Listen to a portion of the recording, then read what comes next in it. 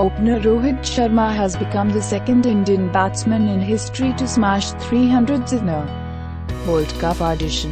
The 32-year-old, who slammed 122 asterisk against South Africa and 140 against Pakistan earlier in 2019 World Cup, reached the three-figure mark in 106 balls against England today.